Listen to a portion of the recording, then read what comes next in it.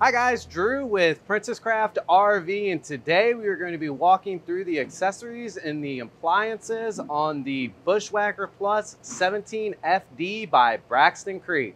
So starting right up front here, we are going to go over the loading and unloading process. This camper will ride on a two inch ball. Uh, we will start with the coupler in the unlocked position as you see it here.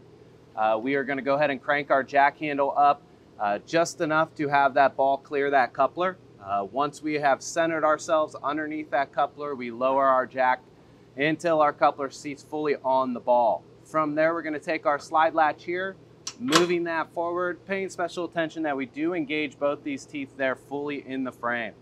Uh, definitely a recommendation to go a step further, add whether it be a spring clip or a locking pin to go ahead and secure this connection further.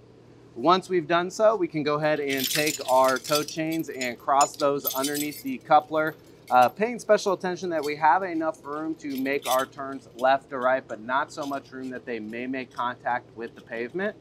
We're then going to take our seven-way plug and plug that into the corresponding receptacle on our bumper. Now this is going to give us full function to your tow vehicle's braking system, charging system, tail lights, marker lights, all that fun stuff.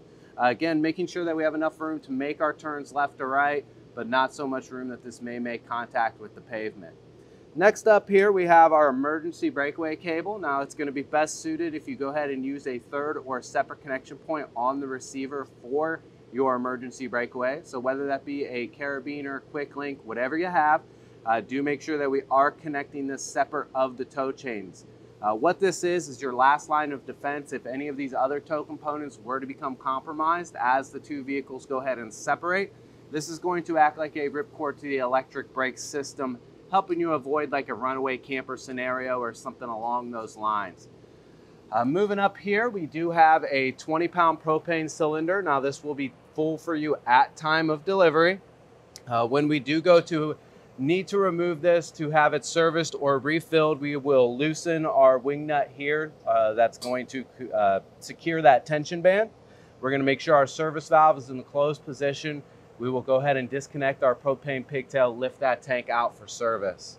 And then directly behind that, we have a Group 24 Interstate Deep-Cycle battery. Uh, this will carry a little bit of maintenance for you. So what that will entail is every 90 days, we wanna go ahead and inspect the water level. To do so, we're going to lift these panels off. You'll find a clear marked water level.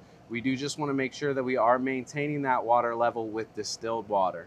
So first thing we're going to come to is going to be your freshwater drain. Uh, when we are filling that potable water or in terms draining that potable water, uh, we have a standard valve here. Uh, with any valve, if the handle is across the flow, it's closed with the flow, it's open. So anytime the unit's gonna be in storage for more than seven days, it's very important that we do drain all of the water from the system.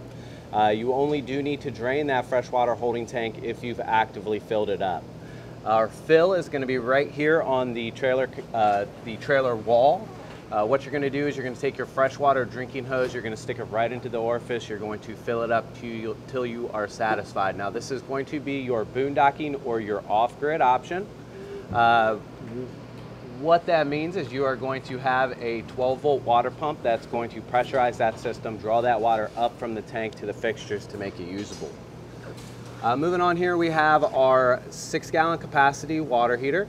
Uh, now, the manufacturer of the water heater has some very specific recommendations in how you maintain this, uh, not only from a sanitary standpoint, but from a safety standpoint as well. Uh, as previously mentioned, anytime the unit is going to be in storage for more than seven days, we do need to drain it completely of water, and we are going to be draining the water heater separately. So, uh, number one, what we need to do is we need to make sure that this is cooled down to a safe working temperature. We don't want to burn ourselves or anything like that. Uh, once we've done so, we need to depressurize the camper as a whole. So we want to cut the inflow of water. If we're using a city water connection, it's as easy as turning the water off at the valve. If we are using our 12 volt water pump and potable water system, we're gonna just go ahead and turn that water pump off. Now, once we've done so, we are going to go to any hot water, the hot side of any fixture within the unit, whether that's going to be the outside shower, the inside shower, the kitchen sink, Uh, any will do, we just need to open the hot side of that line. Uh, what that is going to do is depressurize the holding tank of the hot water heater. Uh, once we've done so, we're gonna come out here to the outside. We are going to take an inch and a 16th socket extension and ratchet. We will then go ahead and remove our drain plug here. Uh, as long as we have safely depressurized the unit and it is at a safe working temperature, the rest of your water or contents within the holding tank are going to drain from this location. Uh, now on the flip side of things, when we are returning the unit back to service, it's important that we do prime or pump six gallons of water into the water heater before we try and start heating it. So uh, it's gonna be a similar process. We're first going to go ahead and replace our drain plug. Uh, might you need to use some uh, pipe dope or some Teflon tape to keep that connection watertight. Uh, once we've done so, we're again going to use our inch and a 16th socket and extension and go ahead and uh, replace that drain plug. Once we've done that, we are going to repressurize the unit as a whole. So if we are again drawing off that city water connection, we need to turn that water on at the valve. If we are using our potable water here, we are just going to put that water pump or turn that water pump on. Once we've done so, we are again going to go to the hot side of any fixture. We're gonna turn that on. What we're gonna see is a little different scenario at this time. We're gonna see a lot more water coming from that fixture, but we're also going to see a lot more air. So what's happening is the uh, the air within the tank is being displaced and refilled with water. Generally, it takes about five minutes for that uh, scenario to take place. Once that flow normalizes at the fixture, that is our indicator that we do have six gallons of water within the tank and we can go ahead and start uh, heating that water. Uh, also one thing to mention, not only with our water heater here, but all of our propane appliances throughout the camper, it's very important that we do go ahead and utilize a bug screen to cover any exhaust vents. The reason being is that mud daubers in particular are attracted to the smell of propane and they would like nothing more than to uh, go ahead and make these exhaust vents their new home.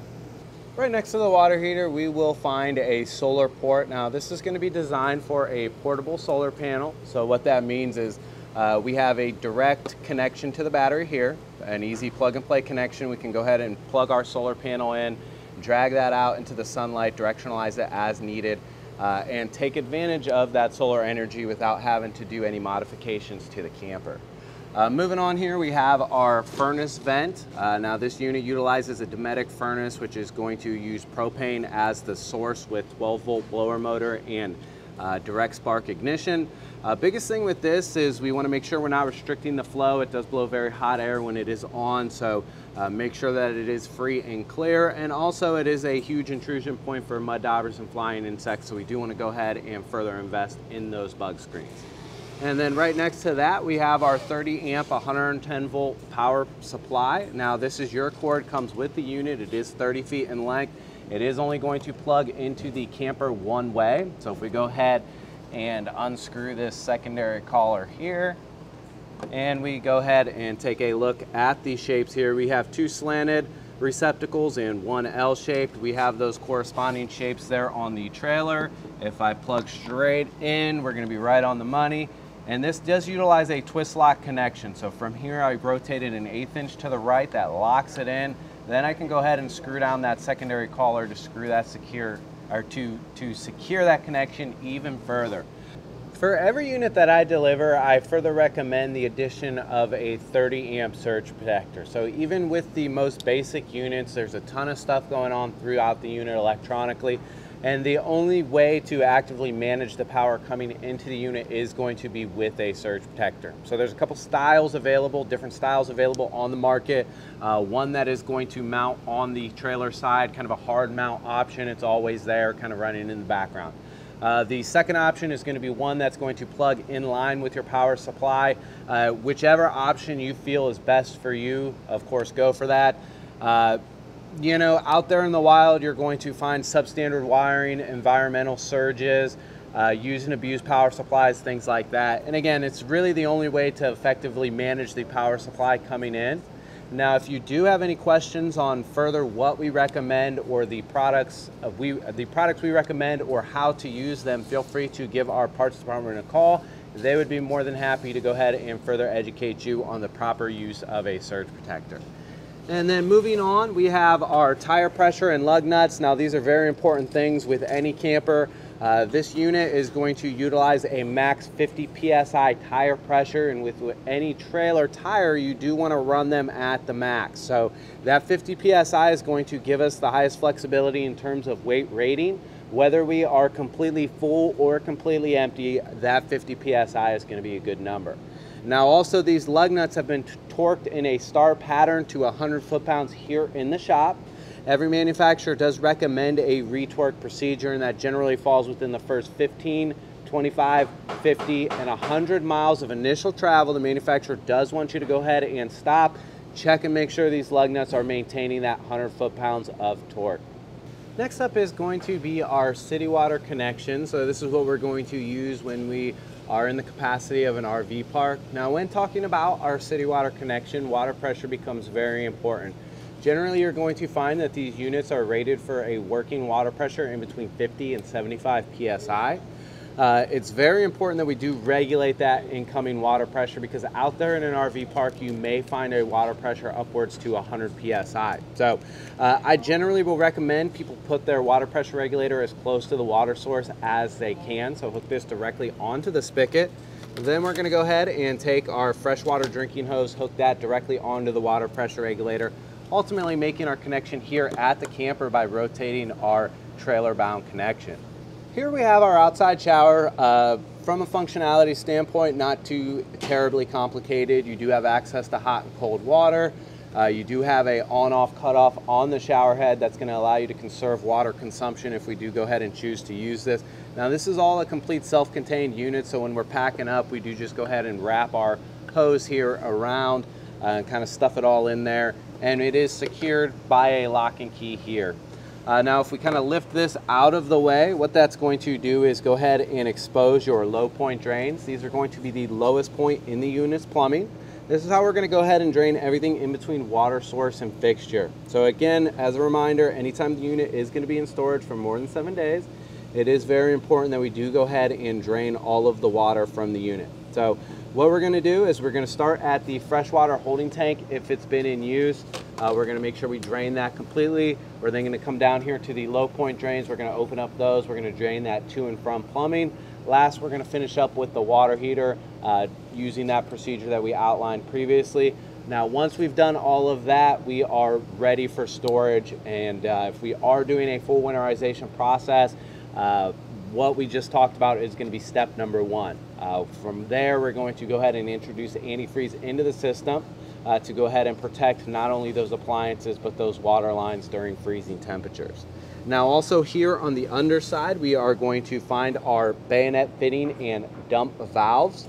Uh, they are color coded gray for gray water, black for black water. Gray water is going to be anything that comes from the sink or the shower, and black water is going to be your toilet waste or body waste. Right here in the center, we have our bayonet style fitting and we are going to connect our sewage hose the very same way this cap comes off. So uh, if I go ahead and rotate this off, you can go ahead and see that we have four prongs here along the outside. Uh, on this particular model, we have four keyholes on the uh, cap. On the sewage hose, we have two keyholes. Either way, we will put the cap or the sewage hose in the halfway position, rotate that clockwise until these uh, studs are fully engaged. Now a popular option when it does come to go ahead and dump our wastewater, uh, one thing you do want to uh, remember is that these two valves should never be open at the same time. So that popular option is going to be uh, dumping our black water and once we are satisfied and sure that it is empty, we close that valve. We then open up our gray water that's going to rinse any shared plumbing between the two systems as well as rinse our sewage hose on the way out. Now, one thing in particular, the most important thing to remember uh, is these valves need to be closed or they during normal operation of the unit they need to be in a closed position. We have a monitor panel on the in inside of the unit that is going to indicate the levels to us. Uh, reason being is specifically with this black water holding tank, we want to keep that toilet paper, that body waste in as wet or flowing condition as we can so that when we do go ahead and relieve the tank, that it does easily evacuate the unit. Here at the rear corner, we're going to find two stabilizer jacks on both the driver and passenger side of the unit. Now these are for stabilizing the unit, they are not for leveling. Uh, the idea being is that this is just going to make things feel more secure when you're inside walking around. Uh, so you're not just kind of bouncing off the tires and things like that. So when we go ahead and operate this, we use the included crank handle here. Uh, it is a spline drive system, so we just go ahead and seat that fully. We're gonna go ahead and come down, make contact with the pavement, maybe just a quarter turn more to shore things up. Uh, we don't wanna go ahead and overstress these as they will operate uh, better, longer if we get in the habit of using a light touch. Same on the way up, you don't really need to hammer down on them, snug is just fine. Here on the passenger side of the unit, first thing we're going to come to is our uh, AC receptacles here on the exterior. Now these are all-weather outlets uh, just designed to allow you to further enjoy this space. If you're uh, sitting out here with some lawn chairs, you can go ahead and plug in your boombox, charge some phones, uh, whatever you feel necessary to do. Uh, moving on here, our steps to the unit are very easy to operate. They do just fold in and out. Uh, they do have a little keeper in there that's going to keep them from prematurely uh, coming out when you're going down the road. We also have kind of a standard door holdback.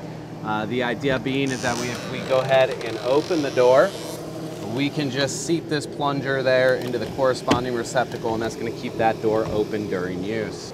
All right, guys, that just about covers it here with the exterior of the 17 FD. Let's hop on the inside and take a look at those appliances and accessories. So first thing we're gonna come to here on the interior of the 17 FD is going to be our fire extinguisher. Uh, now, I don't need to tell you this is a very important piece of safety equipment. We wanna make sure that it is in good working order every single time we take the unit out. So uh, not only with our fire extinguisher, but we do need to test all of our safety equipment every single time before we take the unit out. Uh, with the fire extinguisher in particular, there is a test tab on the top. It's this green button. If we go ahead and push that down and we can feel that spring back, uh, that means there's pressure within the unit. It's going to be in good working order when we need or if we need to use it. Uh, again, we're going to make sure we do that every single time we take the unit out. Uh, now also right here inside the entry door, we are going to find our porch light switch, uh, just an easy on-off toggle switch. We can see that uh, porch light there on the outside. And then turning around here, we're gonna take a look at our dinette. Now this does make a secondary sleeping area. Uh, the idea being with these pedestal style uh, dinettes is that they will separate into uh, three separate pieces. So the tabletop is going to go ahead and be removed from the support poles. Then those support poles are gonna come out of these floor flanges. Uh, we're gonna go ahead and ditch the support poles at this time. We're going to take our tabletop and we will rest that right here on these rails. We're then going to take our rear cushions and place those on top of the tabletop, going ahead and filling out that space so somebody could, again, potentially sleep there. So all of the overhead lights within this particular camper are going to be push button style. So you'll have a, a little silicone button in the center. We're just going to push that to turn them on. There's no main overhead light switch to uh, activate all of those at the same time, so they will be turned on and off individually. Uh, now coming here into the kitchen area, of course we have our high point turntable style microwave. I'm not going to spend too terribly much time on this. Uh, from a functionality standpoint, uh, it is exactly what you would expect. Uh, here on the inside, we do see our turntable. Uh, possibly not a bad idea to secure this when going down the road. I've heard of these maybe vibrate and loose, things like that. Uh, whatever you need to do to make yourself feel comfortable. Uh, and then here into the kitchen area, we are going to find our convenience center or courtesy panel. Does go by a few different names. Uh, this is not only going to give us a real-time readout of where our tanks and batteries sit and level of full, but we're also going to turn our water pump and water heaters on or water heater on at this location. So uh, if we take a look here at the convenience center portion of this, uh, we can see that as I go ahead and push these buttons for the corresponding tanks, uh, these lights up top light up. There is a scale outlined. Uh, the more lights you see, the more fuller the particular source we are evaluating is going to be. Uh, to get a true or accurate readout of our battery, we do need to unplug from shore power. Uh, if we are plugged into shore power, that battery is always going to read full. Uh, and then down below that, we have our water pump switch. These will uh, be lighted switches, so they'll come on uh, to they'll indicate with the light that they are on excuse me. Uh, again just a reminder that water pump is going to be off for off-grid or boondocking can't boondocking. Uh, what that's going to do is pressurize that freshwater system draw that water up to the fixture and make it usable. And then we have our two water heater sources, one being propane gas, again, kind of geared towards the off-grid uh, scenario. And then we have a 110 volt heating element that is going to be utilized in the capacity of an RV park. Uh, now, if you do want the most uh, availability to hot water or the quickest recharge rate, feel free to go ahead and use both sources. That's going to uh, clock in at about 17 gallons per hour. Next up in terms of efficiency is going to be propane gas. Uh, that's generally about 14 gallons per hour. Last but not least is going to be electricity. That's going to come in at about 11 gallons per hour. So uh, feel free to use both of those or uh, use them as those sources present themselves. And then right beside that, we have our main GFCI outlet. All the receptacles throughout this unit are going to be on the same circuit. If one of them were to get overloaded, they all kind of follow suit. Uh, this is going to be the reset point, just like in many bathrooms uh, in the residential sector. Uh, you will have a test and a reset button. So if you find yourself without power to your receptacles, uh, it's a good idea to go ahead and check this main outlet and make sure it's not tripped. Uh, also here in the kitchen, just a standard kind of small hand washing sink. Um, you know, not going to spend too much time with that. Access to hot and cold. And then we also have a pretty straightforward um, cooktop as well. This is kind of your basic Coleman style cooktop with a dual burner. Uh, we do not have a, a, sparker or igniter on this particular model, so we're going to need to utilize a long stem barbecue lighter to go ahead and light that up. We will turn it here to the lighting indicator uh, and hold our flame directly onto the burner. Once we go ahead and see that burner light up, we can go ahead and choose the intensity of our flame here. Uh, now dropping down here into the kitchen area, I do just want to go ahead and uh, let you know that this is going to be your furnace uh, blower motor. Uh, all of your heat throughout this unit is going to come from this location with a unit of this size. Uh, it's pretty much oversized, uh, so what that means is you're going to have no problems controlling the temperature within this unit, whether that be with the furnace or the air conditioner. So above my head here, we are going to take a look at our high-powered exhaust fan. Uh, of course, during transit, this needs to be in the closed position. That's going to be a mistake that you only make once. Uh, reason being is it's probably not going to be there when you get to where you're going. So first thing up is we uh, go ahead and rotate this clockwise to open up that cover.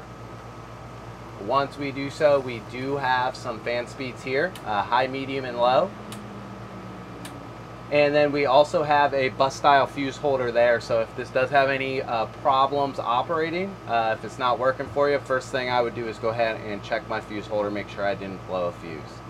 And then we're to pop over here to our AC unit. Uh, this is of course a window AC, technically not installed in a window, uh, but it will operate as most do. You have a high fan, a low fan, a low cool, and a high cool, a thermostat up top to choose the intensity of that. And it's a pretty basic unit. Now you do have a filter that will need to be cleaned periodically. That's going to go ahead and slide out the side here. It does have a little finger tab to allow you to do so. So coming around here to the side, we are going to see two things. One is going to be our resettable plug for our air conditioner. So again, if we have any issues with that air conditioner running, my first thing to check would be to make sure that this plug doesn't need to be reset. And then we have our thermostat for our furnace. Uh, so we have a tab here. If I go ahead and turn that into the on position, that's going to go ahead and kick our blower motor on. Uh, the resting position is going to be all the way to the left here for our thermostat and then as just you know as you can see here we can choose the intensity of that heat we do have a little thermometer here that's going to indicate the real-time temperature throughout the unit uh, it may take a little bit of practice to kind of figure out where you like this uh, and then when we go ahead and power down the unit we're going to move this all the way to the left we're going to take our on off switch move that to the right uh, it will go through a two minute cooldown cycle uh, now when you are firing this off, that blower motor does come on immediately. 16 seconds after that, it actually ignites. By that 30 second mark, it's producing noticeable heat. Now in a unit of this size, uh, I would not be surprised if it went ahead and set off the smoke alarm. Uh, it's unavoidable pretty much in these scenarios, especially again with a unit of this size.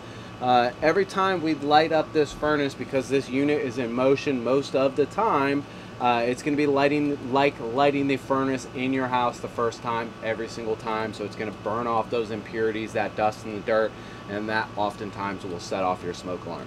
uh, should go ahead and cease after the first 15 minutes of operation. Uh, so not anything that you have to be worried about.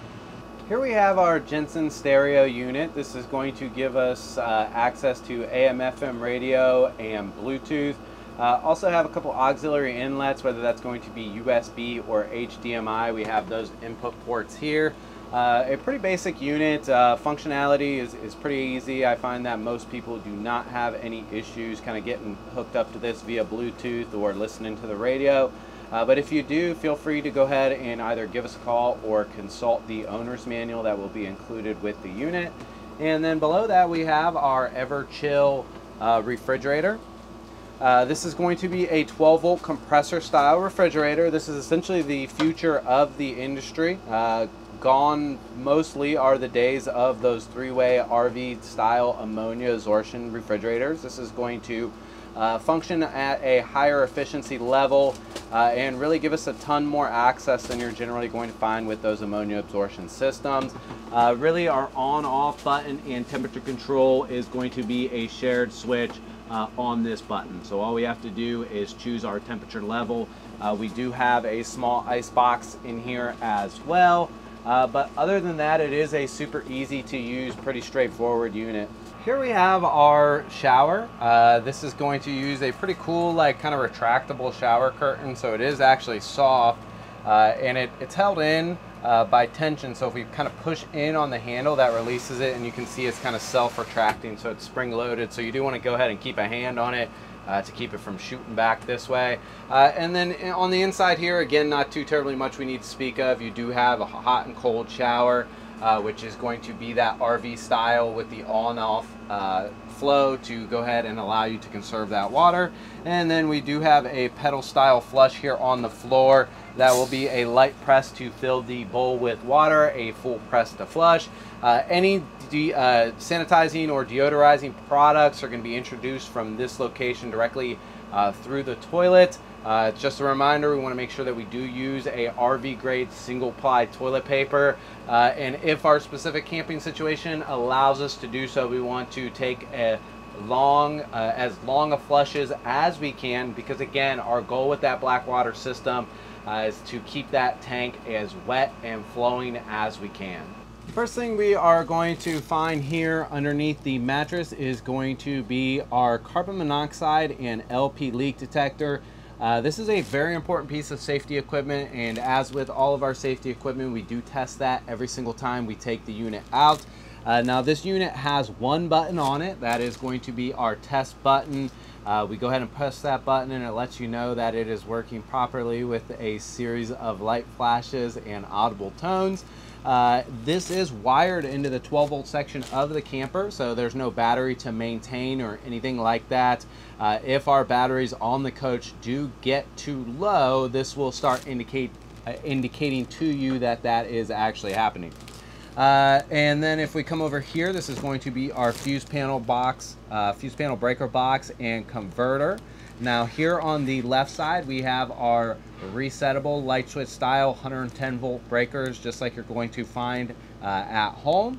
And then on the right side, we have our replaceable automotive blade style fuses. Now it's going to be my recommendation that you do keep a few spares in these values with the unit uh, that way, if you're out there in the wild and you have one that uh, gives up on you, you do have one to replace it. Uh, this is going to give you a little LED indicator uh, to which fuse that you have problems with. And this uh, little window here, you'll be able to see that light through that window so you know just what fuse you need to change. So here on the bed, we are going to find our designated TV area of the camper. Of course, this unit does not come standard with a television. Uh, but if we were to add one later, we could do so. So we have a couple 110 volt outlets. We have our antenna booster. So what this means is you're going to find a omnidirectional digital over-the-air television antenna on the roof.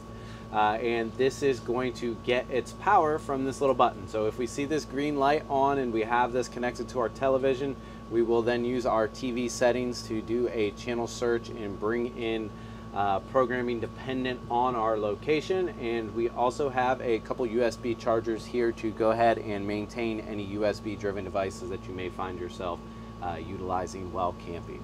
Also here in the bed area, we will find our emergency exit. So uh, if we find ourselves unfortunately in a scenario where our entry door may be blocked by a true emergency, uh, we can exit the unit from this location. So what we would do is we would pull this screen out of the way.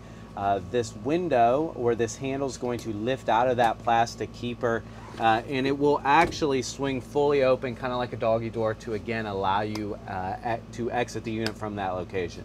Uh, now, if you want to use it as a standard window to allow ventilation throughout the unit, uh, you can still do so. Uh, it does just have a single position. We can see it extended into that position now where this little red handle is again secured by this keeper. Uh, we then go ahead and close it and replace that handle back into that plastic keeper.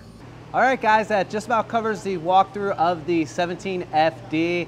Uh, we hope you enjoyed it. Hopefully you learned something. If you do have any questions or concerns, feel free to comment below or give us a call. Thank you so much for your time. We hope you have a great day. Say bye. Bye.